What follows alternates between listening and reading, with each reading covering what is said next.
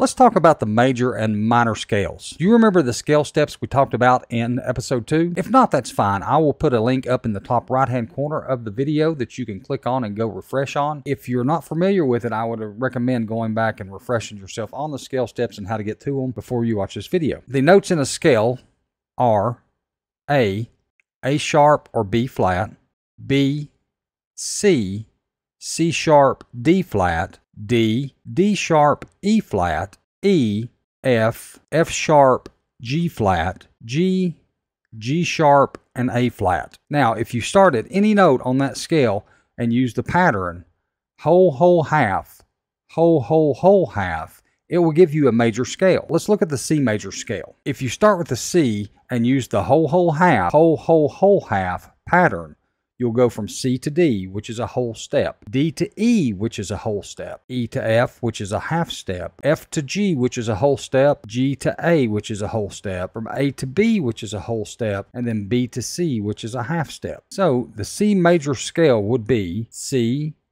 D, E, F, G, A, B, and back to C. Now, let's take a look at the minor scale. The only difference between a major scale and a minor scale is the pattern you use to create it. A minor scale uses the pattern whole, half, whole, whole, half, whole, whole. Looking at the notes in the scale again, let's assemble an A minor scale. You will begin with A as the first note in the scale.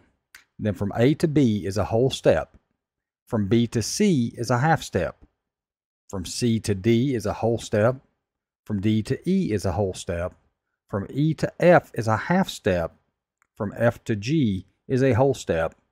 And from G to A is a whole step. So the A minor scale looks like this A, B, C, D, E, F, G, and then back to A. Do the notes in this scale look familiar to you? Well, it should because these are the same notes in the C major scale. They're just arranged differently. This is called a relative minor. So a C major scale relative minor is the A. All major scales have relative minors that use the same notes, they're just arranged differently. Looking at this picture right here, you will see that a C major scales relative minor is an A minor. A C sharp major scales relative minor is an A sharp minor. But instead of remembering all of that, there's a quick way to figure out a major scale's relative minor. It's by counting to the sixth note in the scale. So let's look at the C major scale again. C, D, E, F, G, A, B, and then back to C. If you number these notes, starting with C is 1, D is 2, E is 3, F is 4, G is 5, and A is 6, B is 7, and C would either be back to 1 or you can continue on with 8. So that would tell us that the A is the sixth note in the C major scale, and that is the C major's relative minor. One more major scale I want to show you is the D major scale. Now let's figure out what the D major scale is by using the pattern